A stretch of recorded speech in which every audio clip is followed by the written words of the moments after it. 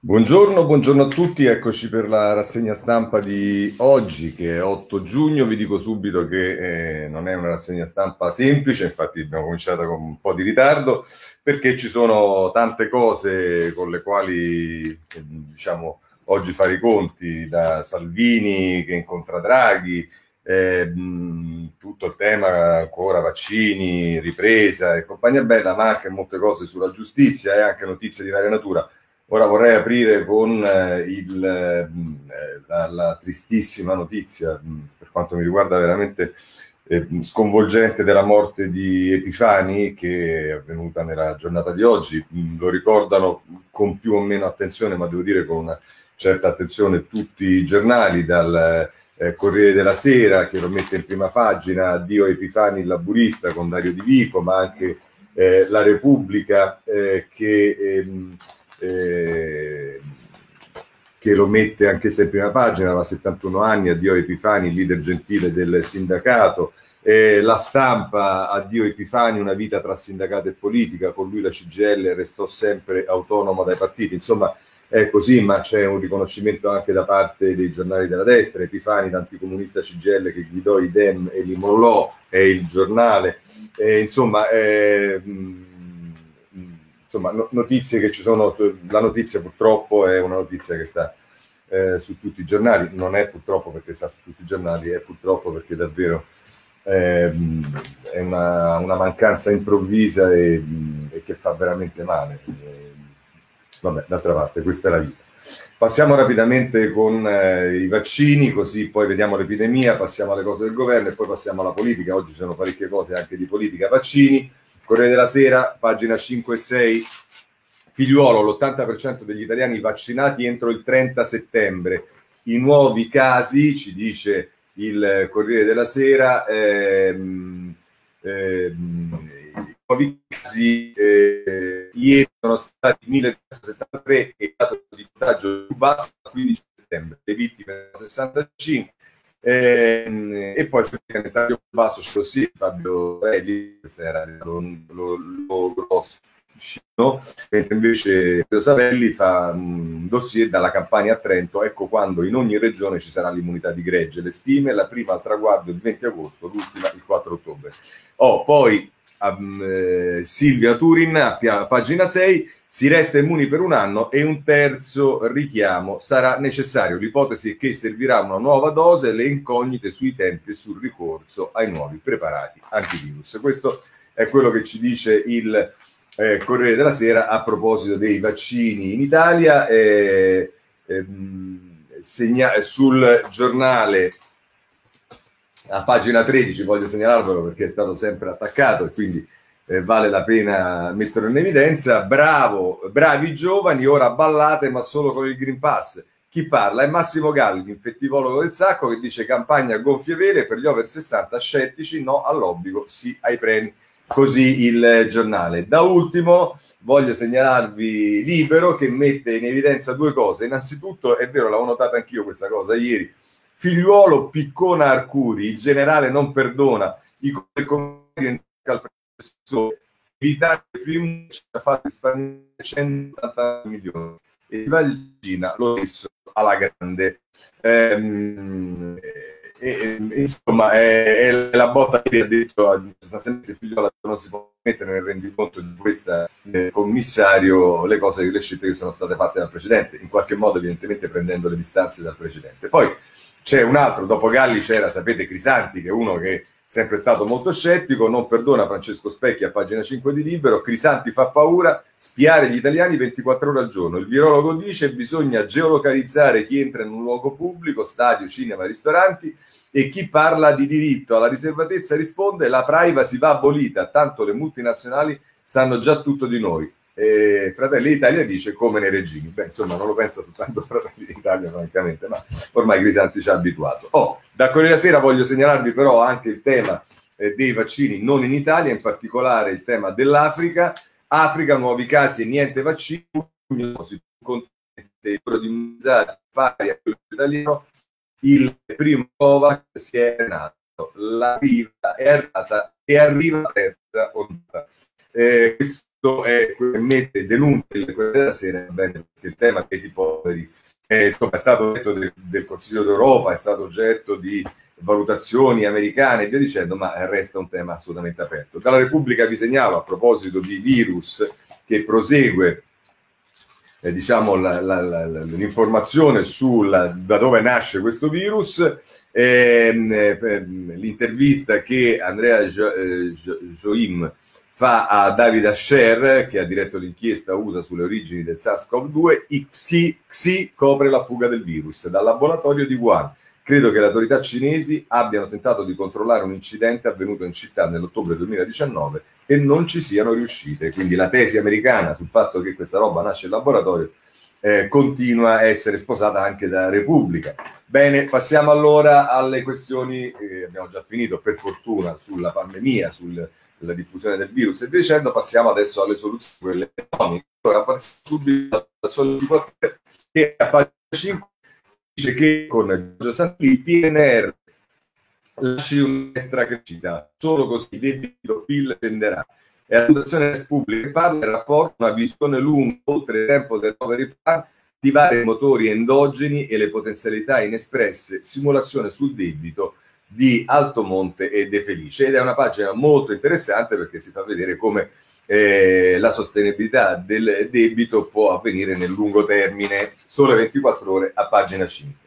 Uno dei temi centrali, come sapete, è il blocco dei licenziamenti, a questo dedica ancora due pagine Repubblica, la 4 e la 5, su licenziamenti PD e 5 Stelle aprono, il governo va verso lo sblocco selettivo, risposte positive alle richieste dei sindacati di prorogare la sospensione, ma non avverrà per tutti. Confindustria dice noi vogliamo assumere.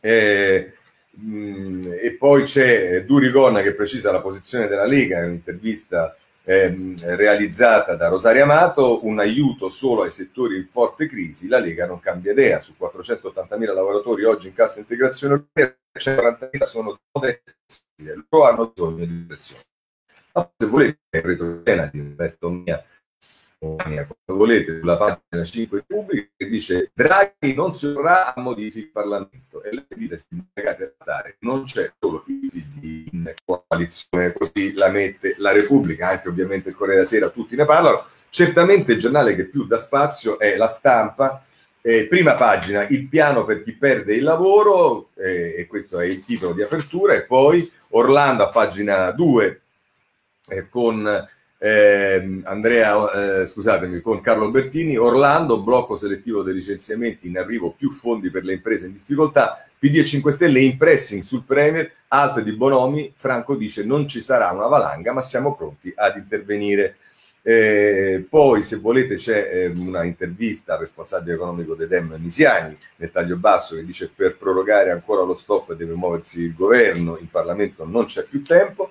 E poi c'è il retroscena di Alessandro Barbera, Draghi prova una nuova mediazione, subito la riforma degli ammortizzatori. Il Premier non cambia idea, ma mette sul tavolo della trattativa anche l'allargamento dei sussidi eh, di disoccupazione, così e le informazioni che ci dà la stampa. E comunque vedete che eh, ci, si sta sicuramente muovendo qualcosa, anche il Sole 24 Ore in prima pagina che però eh, si occupa diciamo, delle imprese non dalla parte del, dei licenziamenti ma eh, per la man- mancanza di materie prime, allarme imprese, carenza di microchip fino a metà 2022.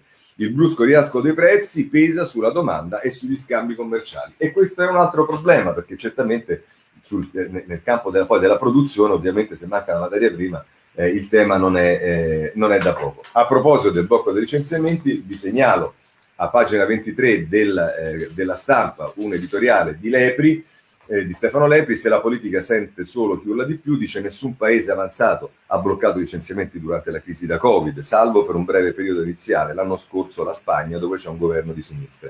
Come ormai è noto, in Italia il blocco non ha impedito che circa milioni di lavoro soprattutto per mancato rinnovo contrattuale dice l'uso della politica italiana, che abbiamo dimostrato un certo attaccamento blocco, ora rientrato, pare che la Lega, oltre alle forze di sinistra, storicamente sono infiltrate dai sindacati come 5 Stelle. Si conferma che abbiamo davanti partiti deboli che in mancanza di capacità progettuale propria inseguono i gruppi di interesse più robusti e determinati. Ben inteso, la contrapposizione tipica del XX secolo eh, sono in parte superate. Così tra l'altro Stefano Levi sul eh, stampa eh, che mette in evidenza il fatto che noi siamo sostanzialmente gli unici. L'altro argomento sicuramente oggi sui giornali che ha grande spazio è soprattutto sul eh, Repubblica è il cloud, uno scudo anti-hacker. Entro un mese la gara per trasferire i dati di 180 enti strategici in un cloud a prova di incursioni. Il ministro Colau dice il 90% dei server delle pubbliche amministrazioni obsoleti e insicuri. Questo è il titolo di apertura della eh, Repubblica che poi a pagina 2 con Riccardo Luna eh, si occupa di questo, via Cloud Nazionale, una rete super sicura per gli enti pubblici, tra un mese la gara per il polo strategico che dovrà concentrare e proteggere i dati di 180 amministrazioni, in concorrenza ai colossi del web, Team, Leonardo e Fincantieri. E poi eh, Alessandro eh, Piva viene intervistato, eh, del Politecnico di Milano, viene intervistato da Gem D'Alessandro e dice ma i nostri dati non vanno regalati. Eh, questo è una eh, in Europa è fondamentale non solo per la sicurezza, ma per riconquistare sovranità eh, tecnologica. Così la Repubblica eh, nelle prime tre pagine, il titolo di apertura e visto che stiamo parlando di dati c'è il tema della cyber security, se ne occupa il eh, Sole in 24 ore, eh, che dice parte il piano per la cyber security, il governo studia uno schermo per i dati che passeranno al polo strategico nazionale alla modalità cloud, tecnologie extra UE solo su licenza e prepara per luglio la procedura per designare il gestore della nuova infrastruttura operativa da metà del 22. Il recovery plan assegna 900 milioni, la gara potrebbe essere riservata con la proposta di un partenariato pubblico-privato e, e, poi vedremo insomma con quali eh, società. Bene, eh, chiudiamo anche questo capitolo e apriamo il capitolo fisco. Qui c'è il eh, giornale in, eh, eh, in, prima pagina che eh, dà una notizia più o meno terrorizzante, soprattutto per chi non ne paga le tasse. Così l'algoritmo segnerà il fisco, arriva il sistema moneta alle nostre spese e che etichettaci come sospetti eh, evasori. Eh, questo è il giornale di prima pagina. Volete poi c'è il libro a pagina 8 che affronta anche il tema del fisco e ci dice dopo cinque anni tasse e multe verranno condonate. Il governo studia l'azzeramento automatico delle cartelle non riscoste per smattire i mille miliardi di arretrato. Vedete notizie diverse, eh, sicuramente queste sono più eh, felici per quelli che hanno diciamo eh, più di 5 anni che non pagano le tasse, poi andiamo sul eh, messaggero eh, a pagina 2 eh, che ci dice il Tesoro accelera a luglio la riforma della riscossione, anche all'Agenzia delle Entrate è favorevole alla cancellazione delle cartelle dopo 5 anni, ok da Lega, Forza Italia e 5 Stelle, se il sistema non funziona più, meglio semplificare. Eh, poi nel taglio basso c'è Franco che dice alzeremo la soglia degli aiuti alle partite IVA e il governo per questo trova 4 miliardi. Ehm, rimanendo eh, sul messaggero, a pagina 3 ci si occupa di pubblica amministrazione, cambia il lavoro agile, fasce orarie e più obblighi. Nella prima bozza del contratto priorità ai genitori per usufruire dello smart working. I dipendenti dovranno essere subito operativi in casi particolari e su richiesta. Eh, questo è quello che ehm, ci dice il messaggero a proposito della pubblica amministrazione. Ma a questo punto, viste le cose principali, andiamo a vedere che cosa succede nel governo. E eh, di questo abbiamo eh, perché se il giorno prima c'è stato l'incontro tra Draghi e Meloni per i rapporti istituzionali con la nostra opposizione, eh, oggi c'è stato l'incontro tra Draghi e Salvini, ieri c'è stato l'incontro tra Draghi e Salvini e qui diciamo eh, Marco Cremonesi eh, ci dice riforme e ripresa, Salvini da Draghi con il Premier totale condivisione, l'incontro senza toccare la questione centrodestra, beh, te credo col Presidente del Consiglio non si sa bene, il leghista parliamo d'Italia, non di partiti. Eh. Insomma, adesso sembra che facciamo diventare eh, diciamo Salvini una statista quando ha detto una cosa mi sembra abbastanza logica, atteso che il Presidente del Consiglio non è il rappresentante di nessun partito e quindi non si capisce bene che cosa dovrebbe dire sulla federazione del centrodestra, sulla quale invece vedremo parlano in molti. Tra l'altro qui viene anche data la notizia che il compagno della Le Pen eh, passa dal Carroccio alla Meloni e, come dire, le evoluzioni della specie e poi eh, nel taglio basso il retroscena sempre di Marco Cremonesi che dice Tony Soft, ruolo da tessitore, il disegno del leader leghista per la svolta moderata mobilitazione pro referendum e un'iniziativa a Roma. E bisogna dire che, ehm, eh, che, che, Draghi, che, scusatemi, che Salvini non smette ogni giorno di eh, in qualche modo parlare del referendum, ci sarà ora anche una manifestazione. Ehm, adesso ci, sono, ci, sta una nota di, di, Franco, le convulsioni di un fronte che cercano equilibrio, che, che trovo meno interessante invece del retroscena di Francesco Verderami, così cambia la geografia di maggioranza. E cosa dice Verderami? Anche Draghi nel suo piccolo può sbagliare, e non solo sulla ripresa economica del paese, dato che la crescita, come ha spiegato ieri a Salvini, supererà di oltre un punto le stime gover- del governo. Pure le sue previsioni politiche si sono rivelate errate, perché nei giorni in cui si insediava a Palazzo Chigi riteneva che i partiti non gli avrebbero riservato una luna di miele Invece quasi tutti per ora hanno trasformato l'agenda Draghi in una sorta di testo sacro, probabilmente perché, come dice il sottosegretario Tabacci, le forze politiche in questa fase storica non sono di sviluppare proposte di costruire strategie. Così chi è diventato meta, pellegrinaggio e il leader va a, trovare, a trovarlo il per dispensa aggiuntivi per commentare i loro colloqui, va dal cordiale al produttivo. Ma nella maggioranza qualcosa sta mutando ormai visibile la differenza tra la postura del centrodestra, che si mostra in totale sintonia con l'ex presidente della BCE, e l'approccio del centrosinistra, e dalle, che sul rapporto con il capo del governo si sta progressivamente sbriciolando. E Conte, ecco appunto, quello non è il centrosinistra. Informiamo anche Verderami che quella è un'altra roba, non è il centrosinistra, l'alleanza tra PD e 5 Stelle. E Conte con l'intervista al Corriere ha voluto allargare la crepa. L'evento era nell'aria al punto che il ministro Dem Guerini in un colloquio con il Foglio fin dalla scorsa settimana aveva dato una sorta di risposta preventiva all'ex premier. Le riforme sono più importanti dell'unanimità. Un modo tutto di C per avvisare l'alleato e molti suoi eh, vedovi a Nazareno che il PD non può morire per Conte perché il rinnovamento non si può accantonare per salvaguardare una formula politica. Così eh, perderanno sul Corriere della Sera, ma del eh, governo il Corriere si occupa, peraltro, pagina 11 ehm, appunto con, questa, con questo retroscena di eh, eh, però anche segnato il domani in prima pagina. Il domani già consegna ormai Draghi a centrodestra perché sono così loro. Nicola Emberti, altro che Salvini, il, il federatore del centrodestra è solo Draghi.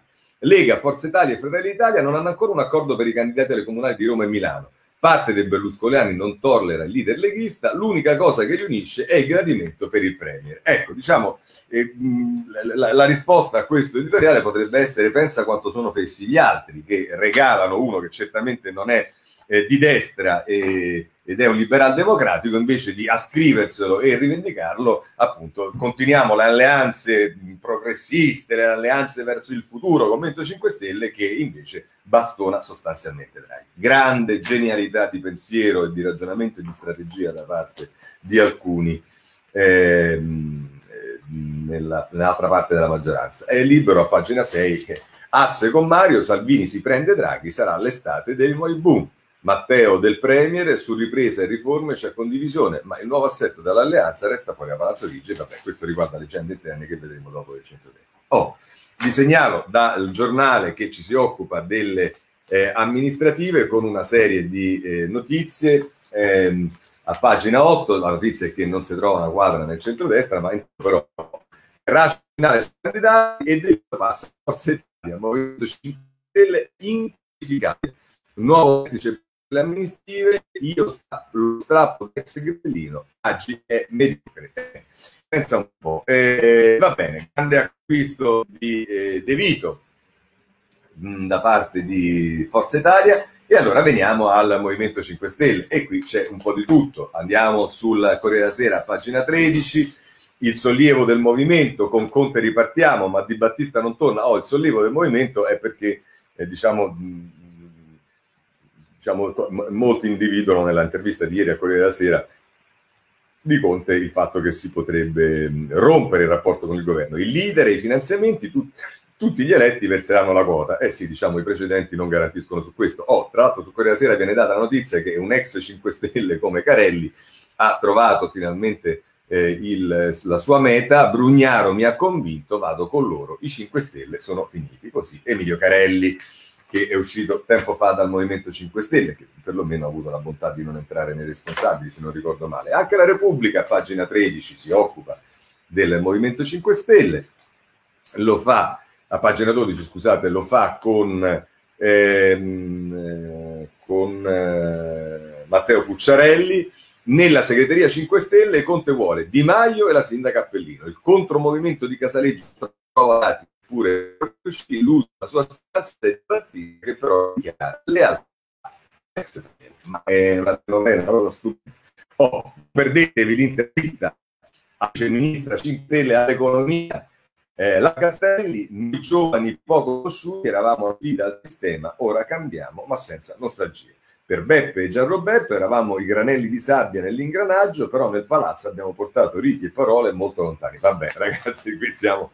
Eh, va bene, va bene così, è tutto meraviglioso. Oh, se non vi basta la Castelli potete beccarvi anche Bonafede, eh, e questo lo fate voi, a pagina eh, 7, addirittura con un richiamo in prima pagina sulla stampa, perché insomma gli sterristi vanno dati, va dato il giusto spazio. Eh, Bonafede intervistato da eh, Andrea Malaguti eh, a pagina 7 della stampa, sostegno a Draghi senza indebolire l'ANAC. Il nuovo Movimento 5 Stelle avrà un'identità distinta dal PD e dice eh, il conticidio è sotto gli occhi di tutti ma non fu un complotto internazionale. L'attuale Premier ha le qualità che servono, tra Conte e Di Maio non esiste nessun dissidio, chi lo dice non li conosce. I sondaggi, ogni volta che ci danno per morti, ci portano bene. E poi Dia dice: Le mie riforme sulla giustizia sono in Parlamento e noi le sosterremo fino in fondo. Eh, abbiamo testato l'affidabilità di Salvini ed è chiaro che oggi abbiamo pochi punti in comune. Insomma, questo è buona fede che dice le mie riforme sulla giustizia. No, aspetta, qual è eh, eh, la cosa sui sondaggi? Insomma, dice che è. Allora, ragazzi, visto che non possiamo perderci. Eh, Ignazzi che oggi eh, diciamo, scopre l'acqua calda, soprattutto per quello che accade in Italia, non sono idea, i sondaggi non bastano più a prevedere le elezioni. Direbbe quello. E il 26 maggio un primario istituto di sondaggio tedesco, l'INSA, pubblicava i dati sulle intenzioni di voto dei cittadini della regione Sassonia dove si sarebbe votato il 6 giugno. Le previsioni erano terribilmente fosche per il partito di Angela Merkel, la CDU.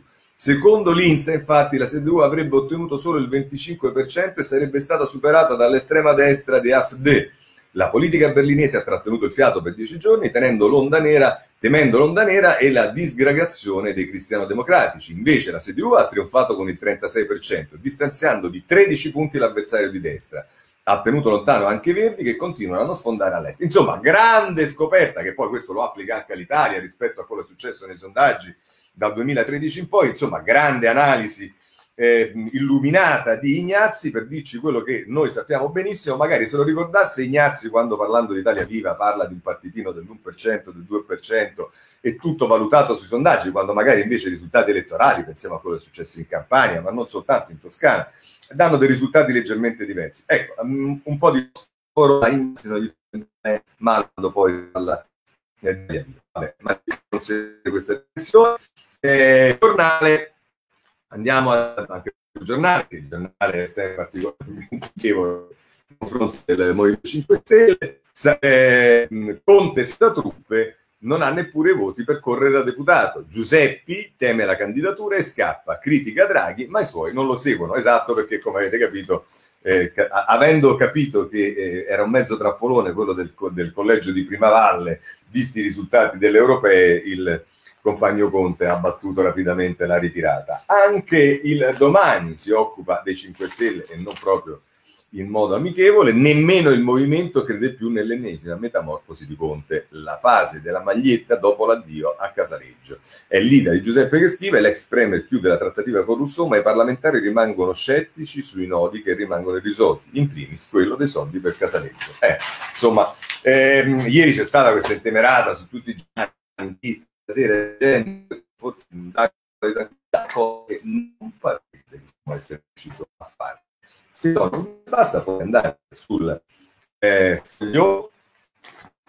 nella pagina 3 eh, dice una cosa che mi permetto di dire, avevo citato ieri in eh, rassegna stampa, grillismo smemorato, il conte disorientato di, dai condoni dimentica quelli fatti dal suo governo. nella prima intervista a Corriere della Sera dice il, il disorientamento dei cittadini per alcune decisioni del governo, tra queste il condono fiscale. L'ex Premier fa evidentemente riferimento a una parte del decreto sostegni che prevede la cancellazione, eccetera, eccetera.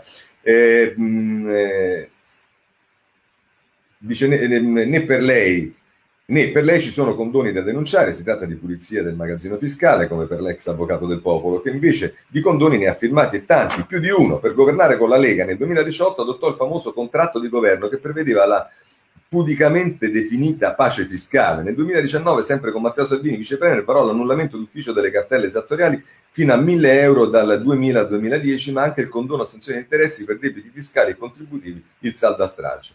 Ma poi, appunto, mh, eh, e poi dice appunto che già a novembre del 2018 il cosiddetto decreto Genova aveva inserito una norma voluta dai 5 Stelle che sanava gli abusi edilizi commessi ad Ischia. Ecco, non mi ero sbagliato, era Ischia, insomma, meno male, il foglio eh, se l'è ricordato, se l'è ricordato anche lui. Bene, allora sul eh, 5 Stelle ci sono due editoriali che voglio leggervi, sulla stampa c'è Panarari eh, che eh, in reazione alle possibili distacco dal eh, governo non ci va molto leggero. E cosa dice Panarari? Le ambi- le, Conte eviti le ambiguità. Non vi è dubbio che già hanno casta che il fatto del sistema ha mostrato la sua governista la di responsabilità il tipo dello scoposto populismo populanista si trova di fronte a un minimo imperio ed è stato tracciato in qualche modo la casella di partenza eh, è stato ricacciato in qualche modo alla casella di partenza di Magma 5 Stelle da cui archiviare per sempre le velità di Partito della Nazione potrebbe non di meno scaturire l'occasione di un Big Bang positivo per il sistema politico italiano in transizione dalla metà degli anni 90 ovvero una finestra di opportunità per consolidare un partito di establishment e razionale capace di concludere un percorso che lo allontani per sempre dalle sirene a chiappavoti populisti e del neo-plebiscitarismo messo in scena dalla piattaforma Rousseau. La cruna d'ago della digitalizzazione dei partiti, come la chiama il politologo Mauro Cariste, è stretta e impervia, ma oggi indifferibile. I 5 Stelle vi erano comunque avvicinati per primi in Italia. Malauguratamente, però, a leggere l'intervista di Giuseppe Conte al Corriere della Sera, la conclusione dell'odissea legale surreale con Casaleggio non sembra essere stata molto di lezione. Le sue parole, infatti, risuonano come una chiamata alla guerriglia dentro il governo Draghi, segnale della perseveranza dell'ex premier nell'ascoltare cattivi consigli e verrebbe da pensare nel coltivare un disegno di destabilizzazione dell'operato del presidente del Consiglio in carica. E non aiuta sicuramente la serenità generale dell'interrotta circolazione delle mitologie revanciste della vittoria sul Covid mutilata e della fantasmagorica, eh, fantasmagorica scusate, cospirazione che avrebbe fatto cadere il Conte 2. Chi invece è caduto da solo, che invece è caduto da solo a causa dei propri errori e dell'incapacità di fronteggiare la crisi. Se il nuovo corso pentastellato perseguirà questa linea politica conflittuale ispirata a una malintesa vendetta del contismo nei confronti del draghismo e non sceglierà la giusta e doverosa lealtà in seno ad un esecutivo di cui è forza maggioritaria, incrementerà ancora di più le fibrillazioni interne e creerà ulteriori problemi all'alleanza col PD e soprattutto finirà per produrre instabilità in un paese che sta faticosamente cercando di risollevarsi dalla catastrofe pandemica, anche perché l'utilità della riproposizione di una pelosa ambiguità rimane tutta da verificare sul piano dei consensi, ma di certo consacrerebbe il contismo come un ennesimo capitolo del purtroppo denso libro nazionale della politica del rancore. Così eh, Lepri. C'è un altro che si occupa eh, della, eh, della mh, mm, eh, eh, eh, scusate, della, mh, mm, dei 5 Stelle. Scusate, ah ecco qui, sì, è Salluti, sulla prima pagina di Libero eh, che la mette così, finiscono insieme i blef di Conte e dei Grillini. Di fatto il grillismo finisce lì, che non lo strada facendo. Dicono che una delle prime scosse deve essere dal governo per cercare di dare un'identità che all'ombra di Super Mario sarebbe impossibile esprimere. Possibile, di cose incomprensibili in questi anni ne è accadute tante, credo. Facile che è prigioniero sia dei stessi di Draghi sia della sete di potere e di poltrone di Di Maio e soci Conte fino ad ora si è mosso prima telecomandato da Di Maio e Salvini, primo governo, poi a colpi di decreti presidenziali emanati protetto dallo scudo dell'emergenza Covid, dal prestigio di Palazzo Chigi e dalle furbate mediatiche di Casalino. Insomma, era pur sempre un presidente del Consiglio. Ora non ha privilegi né alibi né fossati a difenderlo. Dei discorsi forbiti e dello stile sobrio e elegante i suoi non sanno che farsene, così come chi se ne frega della cantilena quotidiana di Travaglio su quanto lui sia stato bravo, bello e buono, quanto geniali siano state le sue intuizioni e straordinari i suoi risultati. Tutte balle, ovviamente, altrimenti sarebbe ancora in carica. Da oggi Conte torna ad essere un cognome, non più un ragno, eh, un, non più un rango, uno dei tanti cognomi che affollano la politica e i talk show televisivi, con un problema in più rispetto ai suoi competitori. I grillini, così, eh, Sallusti, sulla, eh, sul, mh, mm, sul, eh, sul libero. Eh, per quanto riguarda il PD, voglio segnalarvi il foglio che ha due interventi, un colloquio del direttore Cerasa con Bertinotti, a cui piace Letta. A Bertinotti non dispiace Letta, la trasformazione del PD nel partito di Piketty avrà l'effetto di far piangere i ricchi o i vecchi elettori Dem, tasse, economisti, svolte politiche, che era spinta? Come no, che non sapeva non andare sul foglio. Però qui eh, ha posizione che è quella di Zana, che è sicuramente differente, parla del PD Unisca Formisti, da Renzi Bersani, come non scriverà Draghi, diciamo, se volete lo trovate nel colloquio con l'ex capogruppo del PD eh, Zanda. Eh, lasciamo il PD, occupiamoci del centro, perché per quanto riguarda il centro voglio segnalarvi soltanto il giornale perché fa una considerazione che risponde in qualche modo anche a, ad alcuni articoli che ci sono stati nei giorni scorsi. Il centro esiste solo se i democratici ne stanno lontani. Cosa dice Macioce? Il centro forse esiste, non sono quasi 30 anni che nessuno, ma sono quasi 30 anni che nessuno riesce a trovarlo il centro come casa politica di chi si sente alternativo al centro-destra e al centro-sinistra, il centro del centro, il centro che ogni volta cambia oggettivo, moderato, liberale, riformista, post-democratico o tutte queste cose insieme. C'è chi lo ha inseguito tutta una vita, ma appena prova ad afferrarlo si ritrova in mano poche briciole, pochi voti e senza peso. È la terra dei piccoli, dei piccoli troppo leggeri per gare. Non c'è vita, non si attraggono. Il centro assomiglia a una magia Calenda non ha alcuna intenzione di lasciarsi scordare, è convinto che questo sia il tempo giusto. La sua scommessa è, è la pietra vuole per la Roma dandosi come sindaco.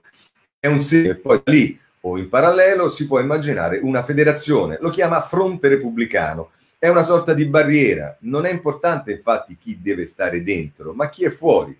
È un altro caso di anti-identità. Il Frangiflutti è contro la Lega, Fratelli d'Italia e 5 Stelle li definisce sovranisti e populisti, tutti gli altri sono benvenuti, renziani, pezzi spazi di Forza Italia, radicali, liberali, Labonino, Totiani, Sala, Gori e gli altri eh, eh, sindaci Dem, alleati con chi? Calenda per abitudine guarda a sinistra e cita il PD, è un vecchio errore, Pannella per esempio lo sapeva bene, se sogni di fare il battitore libero è meglio stare lontani dalla grande chiesa della sinistra non ti riconosce. Il PD è disposto a dialogare e allearsi con i 5 Stelle in salsa Conte, ma Azione, come Calenda, ha battezzato il suo partito è indigesto. Non solo, e andiamo a pagina 6, ehm, per vedere la parte che ci interessa ancora di questo editoriale, non crede nella federazione repubblicana, ma la considera velleitaria, qualcosa che si liquida scrollandosi le spalle. C'è chi come Toti, che lo invita a guardare altrove, sarebbe più facile cercare sponde a destra, ma è già stato segnato il confine. Mai con Salvini, mai con Meloni. E loro, d'altra parte, non potrebbero stare con Sala e Gori. Quindi il centro deve scavare al centro, magari è nella profondità e non nel raggio la soluzione del mistero. È dire chi siamo, non siamo. Un cambio di orizzonte, per realizzarlo non basta cambiarsi al quelli che sono smarriti alla ricerca del centro si sono preoccupati della scatola illusione, è l'abitudine a pensare che se metti sul loro contenitore qualcosa per immaginare finisce dentro. Sarebbe invece più saggio immaginare e contenuti, poi una scatola in qualche modo la si trova. Così, tra l'altro, ma ciò sul eh, giornale. Mm, andiamo avanti, centrodestra, va bene. Eh, allora, non mm, problemi con la federazione? Sì, è il Corriere della Sera, pagina 12, che ce lo dice. Eh, centrodestra saltano tutti i summit, nodo federazione congela le scelte eh, in Forza Italia l'attacco di Gelmini e Carfagna, Berlusconi prende tempo sul progetto. È Paola Di Caro che ce ne parla. Stessa questione viene eh, con un approccio diverso, ma il tema è lo stesso, affrontata anche da eh, Repubblica che dedica due pagine al centrodestra. Eh, pagina 10, i, di, i governisti di Forza Italia fermano Salvini, la federazione ora è più lontana eh, e poi Tommaso Ciriaco a pagina 10 e poi Emanuele Lauria, il retroscena, la rivolta spaventa Berlusconi, Matteo, è meglio rallentare nella telefonata tra i due leader la presa d'atto della necessità di un cambiamento di rotta, alta tensione in Forza Italia, saltano i video incontri del Cavaliere con i coordinatori e parlamentari e insomma anche Forza Italia non se la sta passando benissimo in eh, questo momento. D'altra parte andate sul tempo che ha questo titolo in prima pagina, no Giorgia, no parti, ed è Franco Becchis che scrive dove l'Unione Forza Italia i primi messaggi due su tre non la capiscono senza Fratelli d'Italia. Eh, andiamo avanti perché a questo punto sono tre cose eh, da leggere. Folli, la Repubblica pagina 25 si occupa esattamente di questo in proiezione diciamo o meglio con uno sguardo europeo il patto di Salvini e il bivio in Europa. Tra l'altro scrive Folli ancora di recente l'ex ministro dell'interno eh, ha cercato di promuovere, non si sa con quanta convinzione, una sorta di internazionale conservatrice senza in apparenza riveder, rendersi conto della questione di fondo. Vale a dire che il problema non è arginare Giorgia Meloni in Europa, quanto colmare le contraddizioni tra Lega, tra la Lega che in Italia cerca l'intesa con Berlusconi, uomo del PPE, e la stessa Lega alleata oltre confine eh, di forze opposte ai popolari. Si tratta, come è noto, di formazioni contro cui la cancelliera Merkel ha combattuto senza trega, in quanto minano alla base il blocco sociale e i consensi su cui si regge il popolarismo. Ora è vero che Salvini di recente ha un po' attenuato il rapporto con l'estrema destra di ADF, eh, ma come si dice in questi casi troppo poco e troppo tardi. Semmai il partito, la federazione, addirittura il partito unico, con quel che rimane di Forza Italia, prenderà forma non è pensabile che i due contraenti si assestino su posizioni divergenti in Europa o che resti una riserva mentale da parte del leghista. D'altra parte, il passaggio di Salvini dalla sponda cosiddetta sovranista alla riva di una sostanziale ortodossia europea, simboleggiata proprio dal PPE, non sarebbe indolore, comporterebbe un'adesione al disegno sempre coltivato da Giorgetti e Zaie, ma contrastato dal leader che ha inseguito per anni il miraggio di un'unione diversa da quella di Bruxelles. Così eh, Folli sul ehm, eh, sulla pagina 25 di Repubblica, ma poi c'è anche eh, i temi della destra e i riti del che insomma è stato costruito, e poi eh, ehm, insomma, quello che, che, ha prodotto la destra eh, negli anni scorsi, queste funzioni in centro-sinistra non ha potuto né saputo prestare attenzione se non tentando un'alleanza con il più debole dei contenitori dello scontento, il Movimento 5 Stelle, mentre le destre, eh, e, e, e, quindi fa, fa, un riferi- fa, un paragone tra quello che rispetto alla situazione, il Covid, quello che c'è stato, le, le tensioni nel popolo e via dicendo, di come si è comportata la sinistra, il centro-sinistra rispetto al centro-destra. E poi dice, la, di una, la possibilità di una loro affermazione della destra, dice, elettorale, pone oltre tre ordini di problemi, uno più grave dell'altro. Il primo è la rivalità fra le due destre, che è una delle cause eh, delle loro difficoltà a individuare le candidature per le amministrative d'autunno che proseguirà nel tempo. Il secondo è costituito dalle non impeccabili credenziali democratiche di una parte dei sostenitori di Fratelli d'Italia, un partito al quale inoltre manca con poche eccezioni una classe dirigente sperimentata.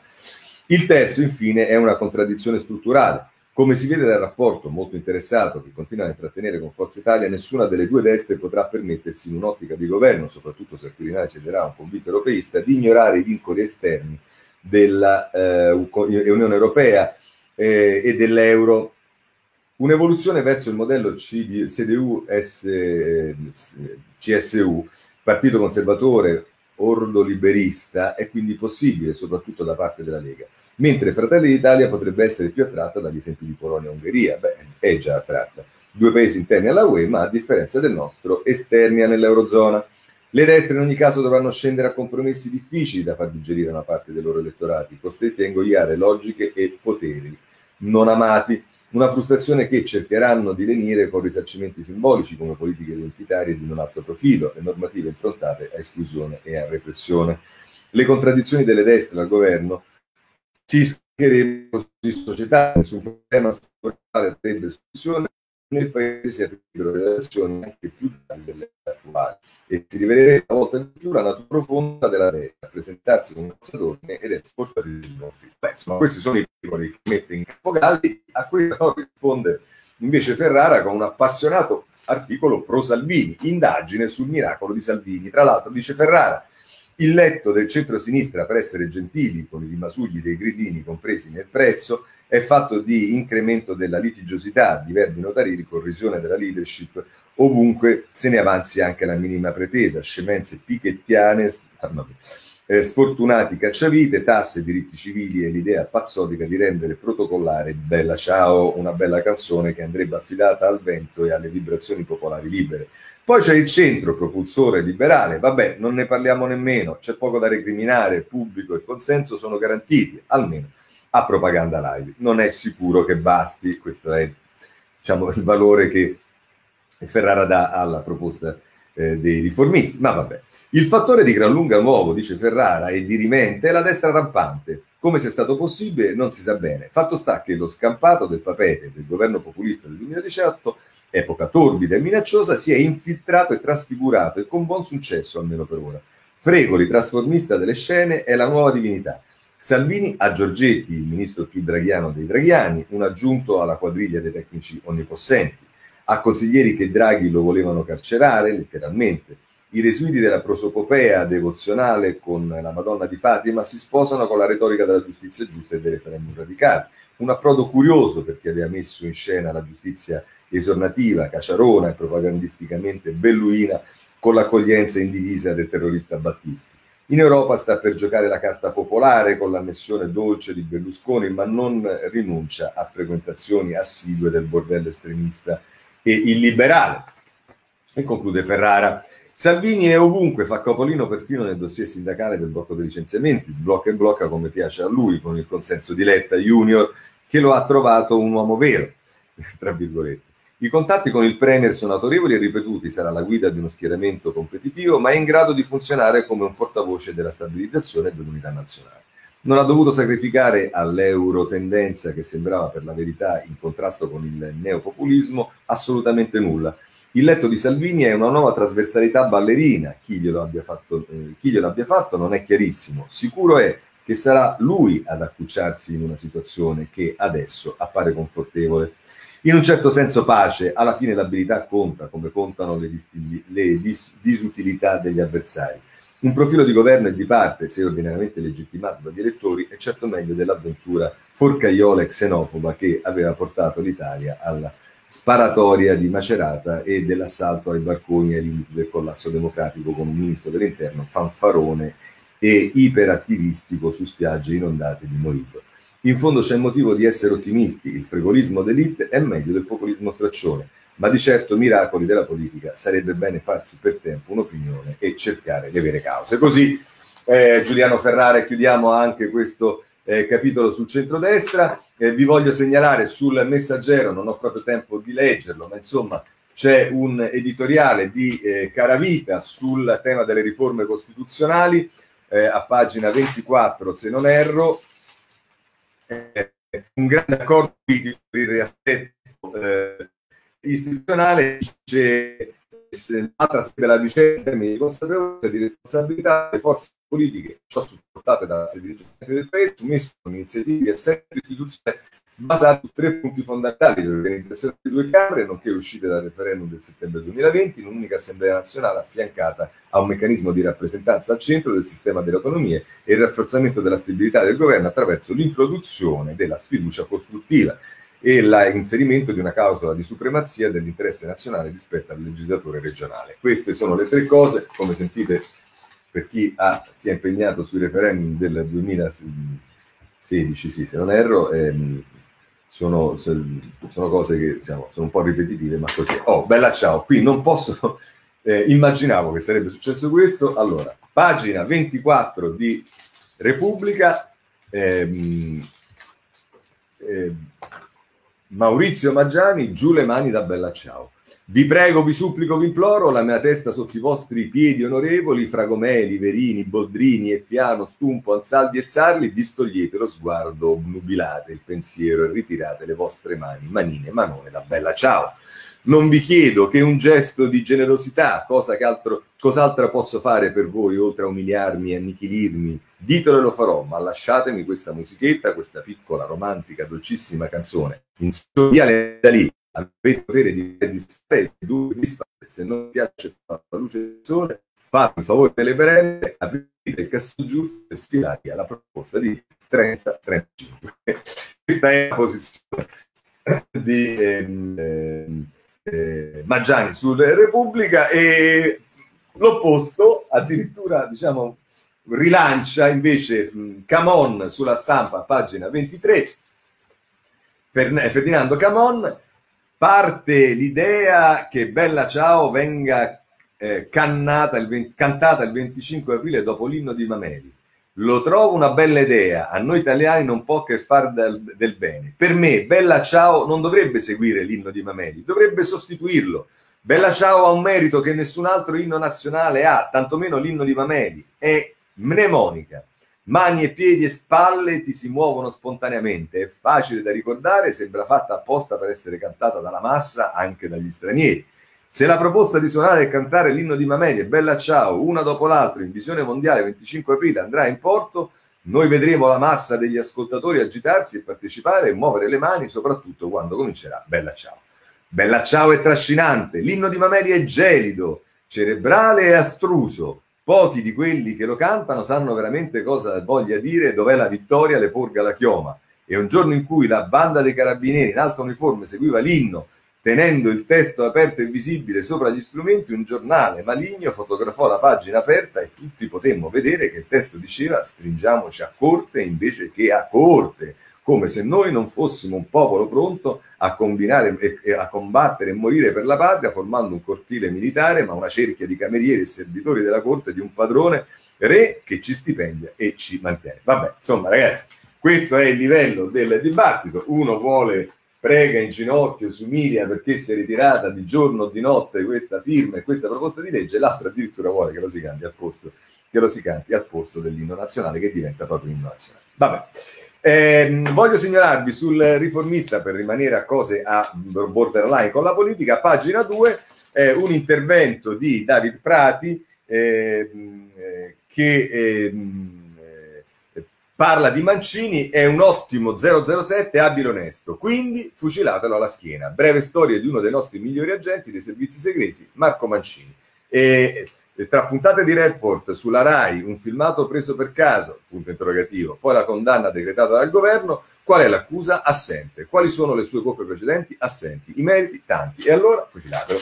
Va bene, è la prima puntata di una seconda che ci sarà la prossima, eh, non so se domani o nei prossimi giorni. Poi veniamo alla giustizia allora. Paramara, e rimaniamo sul riformista perché oggi è il giorno della verità, ci dice il eh, riformista eh, a pagina 4, Palamara il giorno del giudizio, dentro o fuori la magistratura, questa mattina davanti alle sezioni unite civili della Cassazione, l'udienza sul ricorso presentato dall'ex zar delle nomine contro la sua radiazione dall'ordine giudiziario. Tre le ipotesi possibili e Paolo Comi, vedremo che cosa accadrà.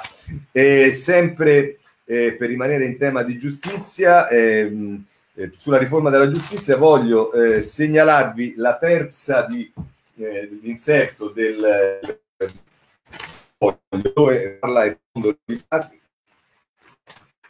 eh, eccolo qua, eh, dell'azione penale perché una buona riforma della giustizia ha il dovere assoluto di fronte a una falsa età la discrezionalità del pubblico ministero, commissione Lattanzi e quelle svolte necessarie. Eh, il mondo Bruti Liberati che fa un'intera pagina, poi eh, Marianna Rizzini nel taglio basso dice che Salvini passa, la magistratura resta la versione di Staino pro referendum perché si è espressa a favore del referendum. Ehm, e va bene, insomma, questo lo trovate a proposito della riforma della giustizia sul eh, foglio. Poi c'è anche da segnalare l'avvenire che a pagina 9 eh, Nel nuovo CSM più consiglieri e parità di genere, stretta sui fuoriruolo, norme più restrittive anche per chi si candida in politica, il ritorno in magistratura è consentito solo a determinate condizioni, ora il vaglio della ministra Cartabia. Qui siamo ancora alla commissione, poi ci deve essere il vaglio della ministra Cartabia, poi ci deve essere il, il confronto con la maggioranza e insomma. Oh, a questo proposito, fosse anche le ultime cose che riesco a leggere, c'è da segnalare l'editoriale di Angelo Panebianco sulla prima pagina del Corriere della Sera, La giustizia e il difficile equilibrio. Scrive Panebianco. È bastato l'annuncio che rende un noto, onde alte che minacciano e battere sui fragili equilibri della politica italiana.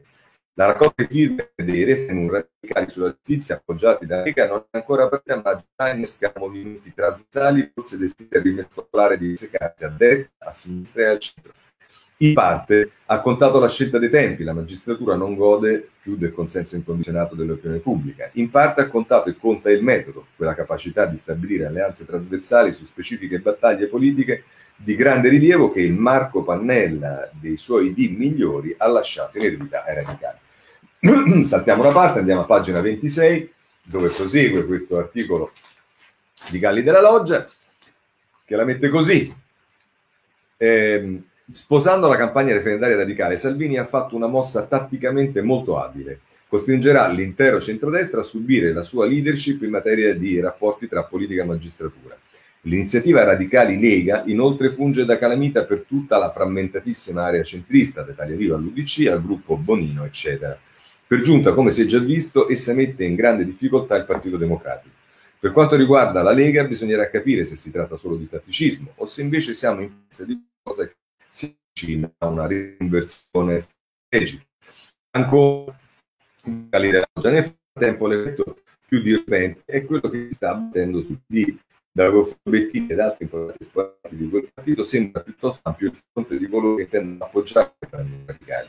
Il segretario e sicuramente una buona parte del partito sono contrari, gli argomenti che usano sono deboli, si va da classico non, abbiamo, non dobbiamo fare il gioco di, all'altrettanto scontato la riforma della giustizia si deve fare in Parlamento, come se in Parlamento nella stessa maggioranza che sorregge il governo non ci fossero molti nemici della suddetta riforma, come se i referendum non fossero, come invece sono, un utile strumento di pressione. È la storia a spiegarci il perché di tale opposizione. Il PD e i suoi predecessori, PC, Sinistra Democristiana, PDS, DS, sono sempre stati schierati con il partito delle procure, anche se con qualche insofferenza ideologica da parte degli eredi di Togliatti, di coloro che, come Massimo D'Alema, credono nel primato della politica, PD e predecessori non hanno mai rotto con il giustizialismo giudiziario, per convenienza, per garantirsi una salvacondotta e perché, anche se di tanto in tanto veniva colpito qualche loro esponente, i colpi giudiziari più duri riguardavano comunque i loro avversari. È un segno dei tempi, sta nel fatto che forse la stagione del giustizialismo trionfante è ormai alle nostre spalle, che iniziativa referendaria apra un conflitto all'interno del PD. Non si esagera se si dice che il futuro della democrazia italiana dipende da come verranno affrontati i nodi della giustizia. In primo luogo bisogna sapere che se il governo Draghi tra qualche mese cadrà con conseguenze imprevedibili, esso quasi certamente cadrà proprio sulla questione giustizia. È sulla riforma Cartabia che presto o tardi si spaccheranno i 5 Stelle Dopodiché si tratterà di vedere se la loro fazione filogovernativa sarà oppure no abbastanza numerosa da non far mancare al governo il sostegno parlamentare. Sorte del governo a parte, si pensi che cosa potrebbe accadere quando si cominciano a spendere Immaginiamo lo scenario peggiore, quello che una convenzione di normative confuse e di eccessi di protagonismo delle procure quel momento fiorirono le inchieste fino agli avvisi di garanzia, gli arresti, eccetera, bloccando tutto quasi. Poi facilmente, come spesso avviene, dopo qualche anno la maggioranza degli imputati verrebbe assolta. Nel frattempo l'Italia avrebbe però sprecato la più importante occasione di sviluppo che le sia mai capitata dai tempi del piano Marshall e si troverebbe nei guai. È il detto politica, è il non detto della politica italiana, il tabù su cui quasi tutti glissano ci fu tempo, la, chiamasse, eh, la si chiamasse Repubblica dei Partiti oppure partitocrazia, in cui la politica comandava e i magistrati erano dominati e controllati. Ci fu, ci fu poi con mani pulite un rovesciamento dei ruoli, i magistrati occuparono il ponte di comando, poterono farlo perché la corruzione politica aveva la precedenza superato il livello di guardia. Da allora viviamo in un regime di democrazia giudiziaria che ha assunto il controllo della politica rappresentativa, la posta in libertà vigilata e siamo passati da una condizione di squilibrio a una condizione di, di squilibrio di segno, o di squilibrio di segno opposto. Entrambe le situazioni, la partitocrazia prima e la democrazia giudiziaria dopo, hanno aspetti illiberari e autoritari. Ci saranno tensioni crescenti e durissime contrapposizioni, ma se alla fine si ottenesse un ragionevole equilibrio, una situazione in cui siano salvaguardate tanto le indicazioni del magistrato quanto le prerogative della politica rappresentativa, ecco che allora forse nascerebbe qualcosa di nuovo, qualcosa di sognante a una democrazia liberale. Così magistrale come eh, edicale Angelo Bianco. Ma anche questo vi segnalo il riformista che mette in evidenza con Sassonetti che si torna a riparlare del processo trattativa, vogliono mettere in cella l'uomo che, travolto, che ha travolto la mafia perché eh, al processo di Palermo è, Sanzo, è mh, mm, Piero Sanzonetti che ce ne parla poi mh, mm, fa l'editoriale, poi Tiziana Maiolo eh, che eh, ne parla nelle pagine interne. Eh, per quanto riguarda il carcere vi voglio segnalare un'intervista alla eh, ex ministra Severino nella pagina 19 eh, del no scusatemi, nella pagina sì, 19 del messaggero, eh, importante perché i giovani nella legalità per riedificare il paese, chiusa la quarta edizione del progetto Luis che crea un ponte tra scuola e carcere minorile. È interessante questa cosa, se volete la trovate sul eh, messaggero. Eh, mh, Funivia, eh, che cosa succede? Che siccome si era trovato un jeep che per una volta si era opposto alla eh, carcerite del, dei pubblici ministeri e l'hanno fatto fuori praticamente. Ma Moltarone tolto il caso alla GIP che ha scarcerato due indagati.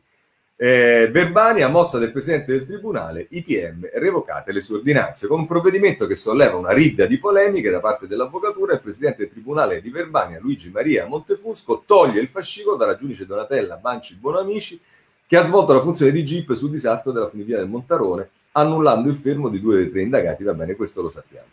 E non sarà quindi più lei, ma sarà un'altra, insomma, si usa il fatto che lei sostituiva, poi è, ma insomma, tutti dicono che è una cosa chiaramente fatta. Invece, per quanto riguarda la giustizia, voglio mettere in evidenza eh, dall'avvenire, pagina eh, 5, ma c'è anche altri giornali che pare su della sera, ma eh, maxi frode IVA e contributi non versati IM di lavoratori sfruttati in DHL. È un'indagine che riguarda i lavoratori della DHL in Italia. Eh, voglio segnalarvi a proposito di eh, invece di processi, eh, pagina 18 e 19 della stampa, ci si occupa del processo Eternit ai tedeschi, eh, l'ex patron di Eternit ritorna alla sbarra, vogliamo giustizia, domani a Novara parte il processo bis contro lo svizzero eh, Schmeideni, non so come si chiama, nel 2014 fu prescritto, i familiari delle vittime di Casale, non ci fermiamo, così la stampa. Eh, voglio eh, a questo punto passare ad altri argomenti. Eh, vabbè, intanto sul tema dei migranti vi segnalo eh, che non c'è solo il problema dei centri di accoglienza in Libia, cosiddetti accoglienza, ma anche eh, in Italia, prigionieri come in Libia, la vergogna dei CPR italiani. Andrea Palladino eh, se ne occupa sul domani a pagina 4. Poi venendo alle cose eh, tristi, c'è Saman, va bene, è su tutti i giornali. Eh, lo sapete, insomma, ci sono le dichiarazioni dei fratelli di uccisi, ormai sono tutti, e su cui voglio segnalare due articoli, uno di Nathan Spesi, Pastasi sulla Repubblica 25, poi il punto sulla stampa di eh, eh, Mattia Vittri, Sam e il nostro Sarmo. Eh, è morto Merlo, eh, che, eh, che un, era un cantante promettente che veniva da Amici, eh, ce lo dice il Corriere della Sera, pagina pagina 20 se non erro, eh, eh, la morte di Merlo stava male da giorni, ci sono ombre, ci sono troppe ombre, il papà del cantante chiedo chiarezza, l'Aus apre un'indagine, insomma la favola è stato rimandato a casa e non stava bene e poi eh, è morto, ma su questo voglio eh, segnalarvi ehm, sulla stampa a pagina 15 c'è ehm, Ermal Meta che scrive poche righe ma significative. Eh, Michele è un ragazzo molto dolce, dico è, non era perché la grande ingannatrice lo ha rapito e lo ha portato a dove. Sogneranno la musica avrebbe pensato adesso al mondo voce, alle parole. Credo che accada questo un respiro lo giovane Spezia. Ad amici fu il lo sguardo che mi colpì aveva luce ombrata di timidezza, siamo abituati a pensare che sia il tempo giusto per morire, ma non è mai il tempo giusto. Michele non sarà, non era, Michele è così al resta sulla stampa. E poi ehm, vi segnalo su tutti i giornali, sembra si sia trovata una cura per l'Alzheimer, quantomeno per rallentarlo. Eh, segnalo Chicco, eh, Libero che si occupa meritevolmente di Chico Forti, eh, che è ancora carcerato in America. Per quanto riguarda la situazione di Alitalia, potete andare sul messaggero a pagina 17, che è l'unico che se ne occupa. Vola il petrolio, ce lo dice la Repubblica a pagina 20, e poi per quanto riguarda eh, il petrolio va oltre i 70 dollari, ma Big Oil non corre in borsa. E poi per quanto riguarda la ehm, politica estera, ehm, la questione di cui si era occupato mh, mm, Paolo Mieli sul Corriere della Sera gli afghani interpreti pare che si vada risolvendo, sul Corriere della Sera a pagina 16 verranno in Italia, quello che sta succedendo in Messico con le elezioni, cioè non si capisce bene chi ha vinto, lo trovate un po' su tutti i giornali, ma anche in questo caso sul Corriere della Sera a pagina 17, e poi Bezos lascia Amazon e se ne va nello spazio, anche questo sta su diversi giornali, e arriva il segretario generale della Nato, Stromberg, che si occupa dei rapporti tra Cina e Russia, ma anche ehm, ehm della, della, della, del ruolo dell'Europa e dei rapporti con gli Stati Uniti, con eh, Biden. Nord Corea, segnalo il messaggero a pagina 11 che dà una notizia eh, obiettivamente allucinante, ma siccome quello tutti dicono che è un pazzo, non, non fa eh, diciamo, stupore, Kim vieta jeans e film, la punizione è la morte. Nord Corea no a soap opera estere tagli dei capelli non convenzionali, condotte individualiste e antisocialiste, tre, tra le condanne più lievi campi di lavoro. Questo è il Nord Corea. E poi da ultimo il Myanmar è l'avvenire a pagina 4, eh, la situazione è drammatica, adesso si spara anche nelle chiese. Eh, Myanmar, l'esercito punisce chi aiuta, attaccata la sesta chiesa in due settimane. Bene, con questo chiudiamo la segna stampa di oggi. Mi scuso per il ritardo, ma come avete visto era molto complessa e consentitemi in chiusura di rassegna stampa un ultimo caloroso abbraccio a um, Guglielmo Epifani ai suoi cari e anche ovviamente a tutti i colleghi che in questo momento sicuramente saranno vivendo un momento molto difficile. Se volete ci vediamo domani alla stessa ora, buona giornata, speriamo puntuali e buona giornata a tutti.